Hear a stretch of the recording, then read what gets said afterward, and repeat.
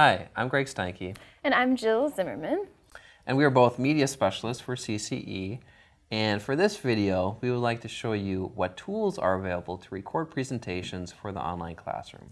Yeah, this video is really intended for faculty who want to discover ways students can record presentations as an activity for class. That's right, Jill. And let's start with the first tool, and that's Google Hangouts on Air.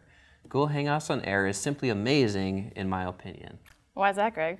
Well, Jill, Google Hangouts on Air can do pretty much everything you need it to do. Google Hangouts on Air is really a live event that's broadcasted on YouTube.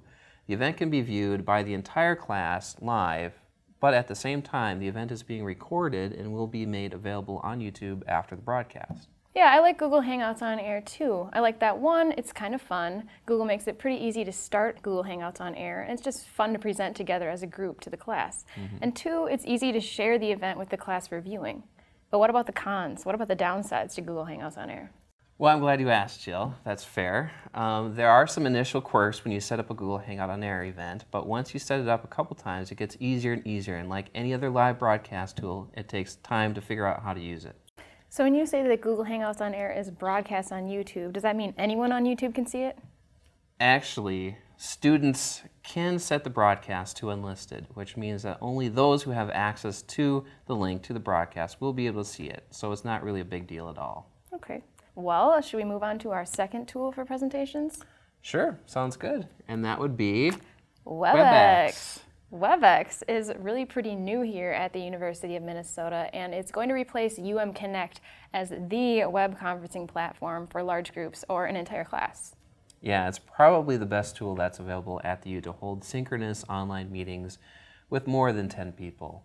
And students do have WebEx accounts, so they can hold their own meetings, but... Right. But students do not have the ability to record their WebEx sessions. Only faculty can record WebEx meeting sessions. Right, but faculty can create the session and record it for their students. So maybe faculty plan three synchronous meeting dates for their class, and each of these WebEx meetings, two or three groups of students may present to the entire class. Yeah, yeah. I think that's probably the best way to use WebEx to record student presentations. Okay, now we have one tool left, right? Right, and that would be VoiceThread. Now VoiceThread is much different than the other tools. For one, it's not a web conferencing tool or something you can use to hold live events online. Instead, it's a tool students can use to record a presentation on their time and then later share it with the entire mm-hmm. class. Mm -hmm. Yeah, I like VoiceThread because it's fairly easy to use. Students create their PowerPoint or Google Slides presentation, upload it to VoiceThread, and record their narration right there. So pretty straightforward. And they can share their voice or presentation with the class. They can even have fellow students and their instructor comment on their voice or presentation as well. Mm -hmm. And that feature would allow faculty to record audio or video feedback directly on the student's presentation. Right, exactly. Um, faculty have many options to record feedback on student VoiceThread, so that's a nice feature. Mm -hmm. But what about the downsides to using VoiceThread? Well, I would say VoiceThread is not a live event, so you don't get the feeling that you're presenting to an audience. So it might seem a little awkward to present without an audience present, but otherwise, I still think it's a valuable tool for recording online presentations. Yeah, I do too.